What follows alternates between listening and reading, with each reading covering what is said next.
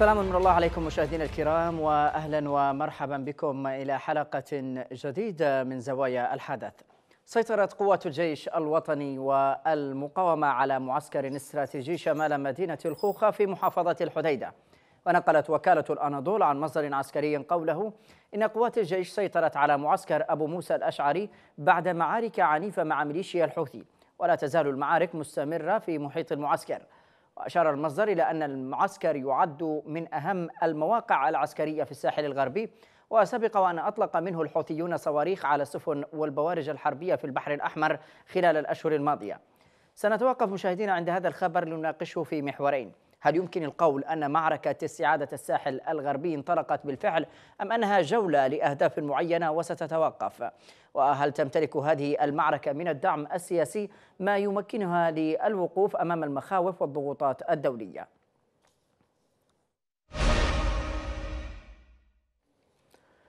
هذا واتهمت الأمم المتحدة التحالف العربي بقطع شريان الوقود في اليمن وقال المتحدث باسم آلية الأمم المتحدة للتحقق والتفتيش في اليمن قال إن قوات التحالف رفضت السماح بدخول ناقلات ميناء الحديدة. مشيرا إلى أن التحالف قال مرارا قال إن الأولوية للغذاء فقط وكانت تقارير صحفية سابقة قد كشفت أن أكثر ما يصل إلى ميناء الحديدة من صادرات تتمثل بمواد البناء والسيارات. مشاهدينا قبل أن نبدأ النقاش مع ضيوفنا سنشاهد سويا هذا التقرير ومن ثم نعود. إنجازات عسكرية متسارعة في جبهة الخوخة.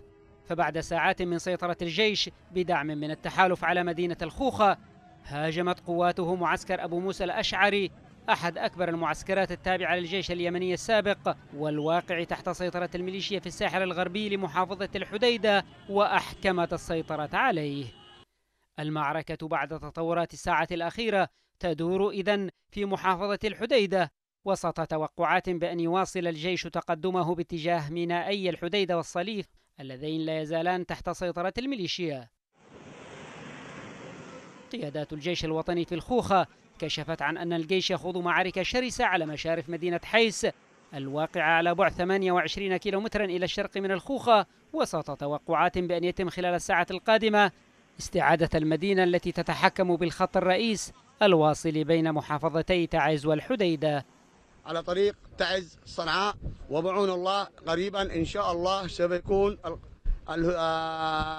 الانتصار القادم إلى محافظة الحديدة يأتي ذلك فيما يواصل الجيش تقدمه باتجاه مديرية التحيتة الواقعة إلى الشمال من مدينة الخوخة. الجيش باشر مهمات تطهير معسكر أبو موسى الأشعري من الألغام بعد أن وضع يده على كميات كبيرة من الأسلحة والذخائر والصواريخ التي كانت تطلق باتجاه المخا والجبهة الغربية لتعز وبالتحديد قرى ومناطق مديرية شمير المجاورة.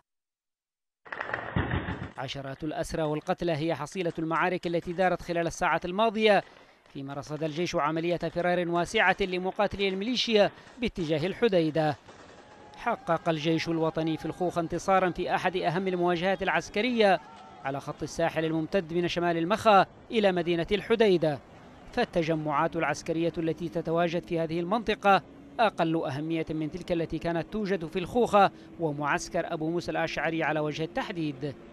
وفيما تشير التطورات العسكرية الأخيرة إلى إمكانية تحريك المعركة باتجاه مدينة الحديدة ومينائها يستبعد مراقبون اندلاعا وشيكا لمعركة تحرير الحديدة بما تشكله من نقطة تماس مباشرة مع المجتمع الدولي الذي يظهر حساسية شديدة إزاء أي انهيار محتمل للأوضاع الأمنية في أهم ميناء لليمن على البحر الأحمر. إذا مشاهدينا نبدأ النقاش وينضم إلينا من محافظة مأرب المتحدث باسم الجيش الوطني العميد ركن عبدو مجلي. سيادة العميد مساء الخير. مساء النور. أهلا وسهلا بك أخي العزيز. أهلا بك سيادة العميد. بداية لو تضعنا في صورة اخر التطورات في الساحل الغربي إلى أين وصلت المعارك هناك؟ بسم الله الرحمن الرحيم. شكرا لك مرة أخرى وشكرا لقناة بلقيس أهلا بك. القناة التي تهتم بالشأن اليمني. فكما تعلم ويعلم السادة المشاهدون أهمية مديرية الخوخة فقد حقق جيشنا الوطني المسنود بطيران التحالف العربي نعم. انتصارات حاسمة وهامة في الساحل الغربي وجبهة الخوخة حيث تم تحرير مديرية الخوخة. هذه المديرية هي أولى مديريات محافظة الحديدة. وأتى تحريرها بعد أن استكملت قواتنا تحرير منطقة الزهاري وحسي سالم والرمى والرويس ويقتل ومشق وتبعد مدينة الخوخة عن مدينة الحديدة 100 كيلومتر. وبتحرير الحديدة وميناها الاستراتيجي سوف يقطع الشريان الإيراني الذي يمد الإنقلابيين الحوثيين بالأسلحة والمعدات المهربة. نعم. أخي العزيز هذه مدينة الخوخة لها أهمية كبيرة حيث أن هناك فيها آه، مرسى كانت تستخدم الميليشيات لتهريب الأسلحة الذي مرسى الصيادين. كذلك هناك مرسى صغير أيضا في القطابة والحيمة والتي وصلت لها قواتنا. قواتنا الجيش الوطني والمقاومة الشعبية وصلت إلى بعد مديرية الخوخة وهي على مشارف مديرية التحيتة شمالا وعلى مشارف مديرية حيس شرقا. نعم. لكن سيادة العميد هذا التحرك مؤخرا في الساحل الغربي هل هو يعني ضمن استراتيجية وخطة واضحة هدفها الوصول إلى محافظة الحديدة وتحريرها بالكامل أم أنه من أجل آه، تحقيق فقط يعني آه، أهداف معينة بالسيطرة على مناطق معينة كانت تشكل آه، مخاطر من نوع ما؟ حقيقة نحن نسير وفق خطة مزمنة وخطة مدروسة وخطة مرتبة خطط استراتيجية. ليست لتحرير الساحل الغربي فحسب بل لتحرير اليمن كامل من قبضة الميليشيات الحوثية الإنقلابية. آه الجيش الوطني والمقاومة الشعبية في الساحل الغربي وجبهات الخوخة يسيرون وفق هذه الخطة ونحن نقول منذ زمن أن جيشنا الوطني ينتظر الأوامر والتوجيهات فخامة الأخ المشير منصور هادي رئيس الجمهورية القادر على القوات المسلحة نعم. بالإذان بإسماح للقوات بالتقدم نحو الحديدة الآن نحن في الحديدة والقوات آه، تتأهب وتجهز لاستكمال عملية تحرير الحيث ثم تحرير التحيكة وزبيد والجراحي والحسينية والمنصورية وتحرير كافة المناطق ثم الوصول إلى مدينة الحديدة لتحريرها وتحرير ميناها الاستراتيجي الذي تتخذه الميليشيات الانقلابية الحوثية وكرا لتنفيذ عملياتها الإرهابية سواء في البر أو في البحر والتي تقوم تلك الميليشيات بزرع الألغام البحرية وزرع الألغام الأرضية على امتداد الشريط الساحلي نعم. وهناك طريقين طبعا طريق ساحلي بمسافة من مدينة الخوخة 100 كيلو متر وهناك طريق آخر شرقا يبعد من مدينة الخوخة إلى إلى مدينة الحديدة 120 كيلو متر هذه الطرقات ستسهل تحرك القوات آه، بشكل آه، بسهولة. اليوم الميليشيات الانقلابية حقيقة منهارة وهي تنهار أمام ضربة الطيران والجيش الوطني. تفر من الجبهات وهناك نعم. أيضا انضمام من قبائل تهامة ورجال تهامة الأبطال الأحرار. إلى الجيش الوطني وهناك أيضا قوات كانت في صفاف في صفوف الميليشيات الحوثية تنضم تباعا في مختلف الجبهات إلى جيشنا الوطني. نعم سيادة العميد آه، تكرم بالبقاء معي آه، فقط سأشرك معنا في النقاش سينضم إلينا المحلل العسكري علي الذهب أستاذ علي مساء الخير. مساء النور أهلا وسهلا. أهلا بك سيد علي. يعني لو بدأنا من التحركات الأخيرة التي حدثت خلال الساعات الماضية في الساحل الغربي كيف تقرأ هذه التحركات؟ آه، شكرا لك وللسادة المشاهدين. أهلا بك. ولضيفك الكريم. أنا أتصور أن آه، ما يجري هو آه، يعني خطوة على طريق استعادة محافظة الحديدة والانطلاق نحو بقية المحافظات الأخرى. نعم. لكن آه، ما يؤخذ على هذا التقدم هو بطء لأن العملية التي بدأت على الساحل الغربي منذ قرابة العام من مضيق باب المندب باتجاه دباب والمخا والخوخة يعني كانت كانت لها أهداف آه، تتجاوز الأهداف التي يهتم بها اليمني وليس دول التحالف وفق الأطماع أو المصالح الاستراتيجية والجيوسياسية التي تطمح إليها بعض دول التحالف خاصة أن التقدم في هذه الجبهة آه، محصور على دولة الإمارات العربية المتحدة نعم. و آه، يعني مدحومه بالجيش السوداني طبعا الجبهات. وإن كان هناك قوة من الجيش الوطني آه، سواء من المقاومة التهامية أو من المقاومات ال- القادمة من محافظة الجنوب. نعم لكن آه، سيد علي يعني أنت تحدثت عن هنا عند في هذه ال- الجزئية عن قوة الجيش الوطني. إذا ما تحدثنا من الناحية ال- العسكرية هل لدى الجيش القدرة الكاملة في وضعه الحالي على حسم معركة الحديدة؟ في الوضع الحالي هو الآن ما يدور من من آه، من مواجهات هي ليست معركة حسم من عدة جبهات وبالحشد الكبير الذي استعيدت بهم مدينة عدن نعم ولكن نحن نقول أنه خطوة في طريق استعادة مدينة الحديدة لأن معركة استعادة المدينة أو الميناء ستكلف الكثير وتحتاج الكثير من الحشد المادي والعسكري والمعنوي والإعلامي والسياسي أيضا. هذا هذا الأمر آه، أكمل. نعم تفضل. لكن آه، يعني هناك من آه، يطرح أن المعركة أتت فقط يعني التحرك الأخير هذا من أجل تأمين معسكر أبو موسى الأشعري وهذا المعسكر الذي كان يشكل خطر كبير على ال ال يعني السفن والبارجات التي تمر في البحر الأحمر هل تتفق مع هذا الطرح؟ آه، أهمية المعسكر يعني هو له قيمة عسكرية ولكن أنا لا أتصور أنه التحرك هذا الجيش من أجل السيطرة على المعسكر أنه كان مصدر تهديد على الملاحة البحرية يمكن للحوثيين والجيش المساند لهم أن يسند أن يعني ينصب منصات إطلاق صواريخ أو يطلق آه، آه، زوارق آه، مسيرة آليا أو القيام بعملية إغارة على السفن أو هجمة صاروخية من أي نقطة تتيح لهم ذلك.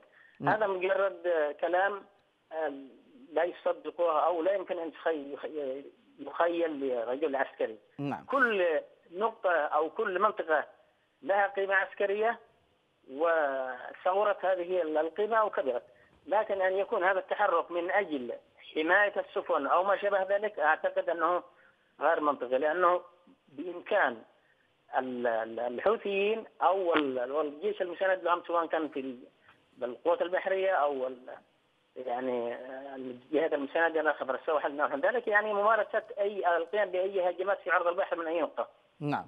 تكرم بالبقاء معي آه، سيد آه، علي الذهب المحلل العسكري. أعود لضيفي آه، العميد ركن عبده مجلي الناطق باسم المتحدث باسم الجيش الوطني. سيادة العميد آه، يعني آه، أوضحت لي منذ قليل أن هناك استراتيجية يسير وفقها الجيش الوطني آه، استراتيجية ليس فقط لتحرير محافظة الحديدة وإنما لتحرير ال- ال- البلد بشكل عام وربما تحتاج إلى زمن طويل. نحن لو ركزنا على التحرك الأخير آه، والذي أفضى إلى تحرير آه، مديرية الخوخة هل ستتوقف المعارك هناك؟ أم أننا سنشهد خلال الساعات أو الأيام القادمة تحرك أكبر وأيضا آه، تحرير مديريات والتقدم صوب محافظة الحديدة؟ لا الحقيقة نحن كما قلنا سلفا خطتنا في الجيش الوطني تحرير الوطن اليمني من قبضة الميليشيات الانقلابية بالكامل. نعم. وأدلل قبل أن نتكلم على الساحل الغربي. هناك انتصارات أخي في صعدة وتم السيطرة على عدد من الأماكن والمراكز الهامة وبالأخص طريق اليتمة آه، البقع. وهناك مناطق عديدة تم السيطرة عليها كالقميشات ومخنق صلة وتبة الطلعة ومحجوبة. والأجاشر مناطق هامة حققت التقرب نحو ال- الخط الخطوط الهامة وأيضا يحقق التقرب نحو معقل رأس الميليشيات الانقلابية. كذلك هناك انتصارات أخي لا نغفل أيضا الانتصارات في الجوف وهي متزامنة مع الساحل الغربي حيث تمكنت قوات الجيش الوطني وبإسناد من طيران التحالف العربي في محافظة الجوف من التقدم الكبير وتمكنت من تحرير عدد من المواقع الهامة بمنطقة الغريميل وتجاوز عرق الأبتر وصلوا للخط الإسفلت وقطعون ويقطعون الخط الدولي الواصل بين محافظة صعدة والجوف وخط الدولي الرابط بين صعدة والجوف وسيقطع إمدادات الميليشيات ال- الحوثية لجبهة العقبة ويعتبر هذا إنجاز كبير في تحرير ما تبقى من مديرية خبة والشعب الساحل الغربي نعود إلى الساحل الغربي على حسب سؤالك ال- ال- المهم والهام والجاد نعم. الاستراتيجية نحن ليس تحرير مدينة الخوخة ولا حيث فقط الهدف الرئيسي لقوات الجيش الوطني هو تحرير مدينة الحديدة وميناءها الاستراتيجي للأسباب أن الميليشيات الانقلابية أولا تقوم بعملية الاختطاف والقتل والتجنيد الإجباري والإخفاء القسري لسكان الإقليم التهامي. وهذا الإقليم غالبية سكان الإقليم بنسبة 95% يرفضون تواجد الميليشيات الانقلابية التي تستخدم هذه الجرائم وتزرع الأرض ألغام وتزرع البحر ألغام. أثرت على الصيادين وأثرت على المواطنين، كذلك أخي العزيز أنها قامت بنهب وسرقة المعونات الدولية التي تأتينا إلى ميناء الحديدة فتقوم الميليشيات بنهبها وعدم اعطائها للفقراء والمساكين المحتاجين بل تقوم بإعطائها وإرسالها لجبهاتهم القتالية والتي تستخدم ضد الشعب اليمني. نعم. هذا أيضا تطرقت إلى معسكر أبو موسى الأشعري. هذا يعتبر المعسكر الثالث من حيث الأهمية بعد معسكر خالد بن الوليد ومعسكر العمري. المعسكر أبو موسى الأشعري كان تموضع تموضع هذا المعسكر في مديرية الخوخة وهو له أهمية كبيرة وكانت تستخدم منه الميليشيات الانقلابية لضرب الصواريخ البالستيه على مدينة المخا وكذلك تستخدمه وكرا لتنفيذ عمليات الإرهابية سواء في البر والبحر. نعم. اليوم هناك تعاون ملموس ومنقطع النظير لكن سيادة العميد هذا التحرك هل نفهم منه أن قرار سيادة العميد هذا التحرك الأخير هل نفهم منه أن قرار تحرير محافظة الحديدة قد اتخذ بالفعل؟ آه، بالفعل طالما ترى هناك واقعا على الأرض بتحرير نحن الآن في محافظة الحديدة. آه، لم يبقى نقول إلا 100 كيلو وهي في الحسابات العسكرية وفي الأرض المنبسطة والأرض المفتوحة. يعتبر مسافة قليلة لتقدم وتحرك القوات وبالأخص المعدات الثقيلة. هناك تنسيق وتنظيم التعاون بين الطيران المقاتل هذا إذا ما استمر إذا ما استمرت المعارك سيادة العميد إذا ما استمرت المعارك ولم تتوقف عند حد معين. لكن دعنا نتطرق هنا لمسألة إمكانيات الجيش الوطني. الجيش الوطني بالإمكانيات التي يمتلكها اليوم هل آه، يعني صار يمتلك القدرة على خوض معركة الحديدة وما بعد الحديدة؟ بالفعل الفضل لله اولا ثم لدول التحالف العربي وفي مقدمتهم المملكة العربية السعودية والإمارات العربية المتحدة التي فعلا كان لها دورا في الإعداد والتجهيز والدعم اللوجستي المتكامل لجيشنا الوطني والذي أصبح أكثر آه، روح معنوية عالية وجاهزية قتالية ومعدات حديثه قادر أن يتجاوز كل الصعوبات والعراقيل والتحصينات الدفاعية والألغام والعبوات الناسفة والشرائك الخداعية التي نعم. زرعتها تلك الميليشيات الانقلابية بعد اختراق دفاعاتهم في الزهاري والرويس وموشق ويقتل أصبح التقدم الآن بشكل أسهل من وقت مضى لأن الميليشيات الانقلابية وخلال توقف الجيش الوطني في تلك المناطق في أطراف شمال المخا آه، دأبت تلك الميليشيات على أن الجيش الوطني لا يستطيع التقدم وذلك من خلال زراعه الألغام. لكن اليوم اصبحت تفر أمام ضربات الجيش الوطني، نحن اليوم أخي العزيز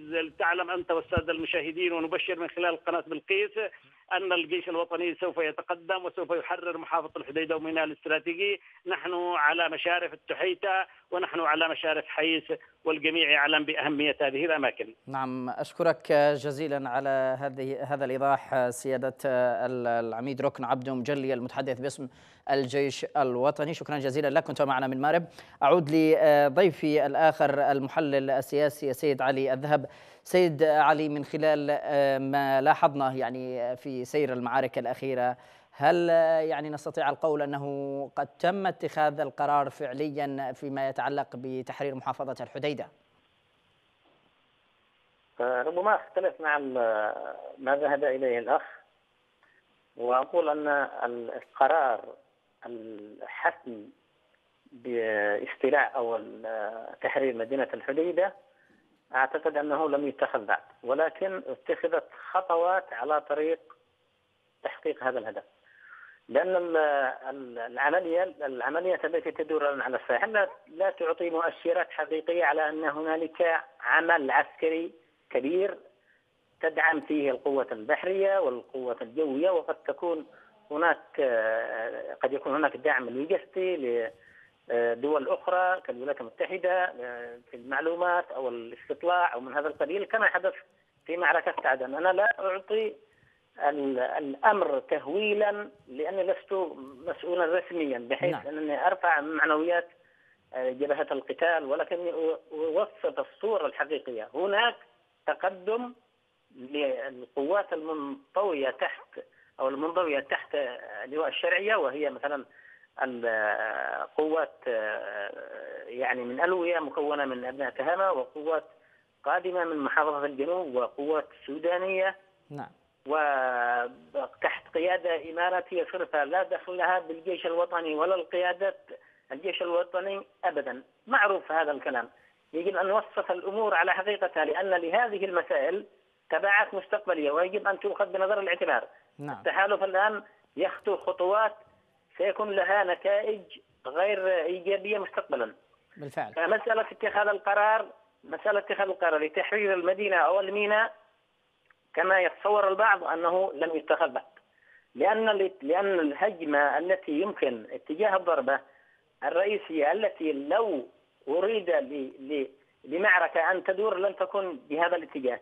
قد تكون في اتجاه توفر الجهد وتوفر الطاقات والإمكانيات وكل الإمكانيات التي ترصد للمعركة يجب أن توجه في الاتجاه الذي يضعف ال ال ال ال يعني القوى المدافعة وفي ذات الوقت لا يمكن أن نغفل الدور الذي قام به الحوثيون خلال الست الأشهر الماضية نعم. مع الجيش الوطني في رفض هذه الجبهات والاستعداد للمعركه ويجب أن لا ننظر إلى الخصم أو الطرف الآخر بأنه طرف هزيل وأنه الطرف الآخر استعد للمعركه ويجب أن آه، وربما يعني التلويح المتكرر آه، سيد آه، علي يعني التلويح المتكرر بقرب معركة الحاسم ومن ثم يتم التأخر. هذا يجعل الخصم يعني يقوم بترتيبات أكثر في مسألة التلغيم في مسألة التعزيز وأمور كثيرة. طبعا بدون شك لأنه خلال الأربعة أشهر الماضية منذ أن وصل الجيش الوطني أو ما نقول عليه الجيش الوطني وصل إلى المخا وعلى مشارف الخوخة وصل إلى مشارف الخوخة أربعة أشهر استطاع الحوثيون ووزاره الدفاع الخاضعه لهم من رفض جبهات القتال في منطقة الساحل بما لا يقل عن 6000 مقاتل. نعم. أيضا هناك اتيح خلال هذه الفرصة تسليح الوحدات، إعادة ترتيب صفوفها، إعادة تموضعها، بناء تحصين الدفاعية، بناء يعني يعني إعداد استراتيجيات وخطط للدفاع عن العمق، للدفاع عن الطرق، أشياء كثيرة نحن نحاول أن نتعامل معها بعاطفة للأسف الشديد، كانت هناك فرص كبيرة ولكن أتمنى على أقول كل ما كل ما تم التاخر أكثر كل ما آه، تعقدت المعركة أكثر في الساحل الغربي ومناطق كثيرة آه، ك آه، يعني النهم والجوف وغيرها من الجبهات وتعز. أشكرك جزيلا المحلل العسكري السيد علي الذهب كنت معنا من القاهرة. شكرا جزيلا لك. سينضم إلينا الآن من الأردن المحلل السياسي السيد عبد الناصر المودع. سيد عبد الناصر مساء الخير.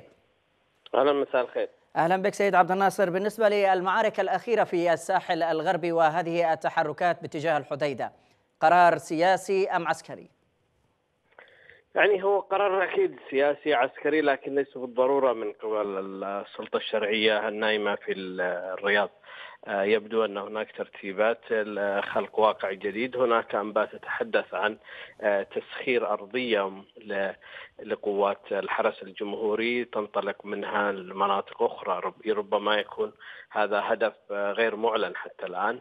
آه الأمور تبدو أن هناك إرباك في صفوف الحوثيين آه بعد مقتل صالح. يبدو أن هناك رغبة في استغلال هذا الإرباك في أكثر من جبهة وتحديدا آه هذه الجبهة التي يبدو أنها اخترقت آه على الحوثيين. بعض الانباء تتحدث أنا لا, لا أستطيع تأكيدها ولكن ربما تكون تمضي في هذا السياق بأن تكون جبهة الساحل. آه، خاصة بمحسوبين آه، على المؤتمر الشعبي على أحمد علي على الحرس الجمهوري يتم تجميعهم في هذه المنطقة آه، ليتم ضرب الحوثيين من الغرب بهذا الاتجاه بحيث أن الجبهة الشرقية تبقى محصورة أو محتكرة للقوات الحالية التي هي نعم. هناك والتي لكن هناك طرح أيضا لزعيم هذه الميليشيات بأن لا شرك أو لا وجود لقوات تتبع علي عبد الله صالح أو ابن علي عبد الله صالح تساند معاركه في أكثر من جبهة هنا الحديث عن مسألة أن وجود الحرس أو أنه يعني الحوثي يعاني من تشتت حاليا بسبب أن هناك انشقاقات هل يعني من من المنطق أنه بالفعل هناك يعني أفراد يعني تم أو قاموا بالانسحاب من الجبهات وتسبب في مسألة إرباك بأكثر من جبهة؟ يبدو أن بعض الجبهات آه، هناك وجود الانصار علي عبد الله صالح في بعض الجبهات وليس كل الجبهات، بعض الجبهات محتكرة للحوثيين، آه، بعضها الآخر هناك حاضنة اجتماعية إلى جانب القوات الحرس الجمهوري التي لا زالت تقاتل في الحوثيين وتحديدا في تعز وحولها وربما في مناطق الساحل الغربي. آه، الأمر المهم الآن يبدو ليس هناك من قوات تقاتل الحوثيين من الحرس الجمهوري ولكن كما ذكرت لك ربما تكون الخطة الإماراتية على الأقل وربما تكون بالتنسيق مع السعودية هو آه، تهيئة منطقة آه، خاصة بقوات الحرس الجمهوري وهي هذه المنطقة منطقة الساحل الغربي نعم. آه، ليس بالضرورة أن يكونوا الآن هم في طليعة المهاجمين ولكن قد تكون الخطة هو آه، رفض هذه الجبهة بمقاتلين من من هؤلاء وضع قيادة جديدة في هذه المنطقة من من من أنصار علي عبد الله صالح نعم.